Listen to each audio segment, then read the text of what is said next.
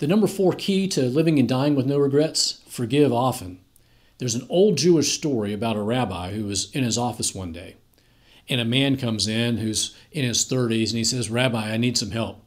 I'm sick and I'm ill and I'm, I'm not able to work. And my wife is sick and she's ill and she's not able to work. And we don't have money to feed our kids. And so the rabbi reaches into his desk and he pulls out some money and he gives the money to the man to try to help him.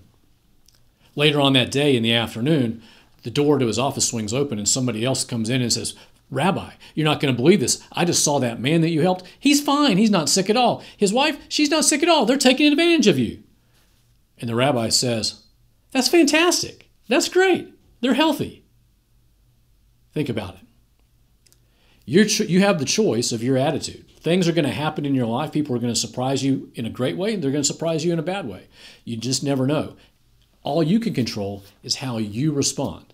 You can respond with anger or you can respond with gratitude.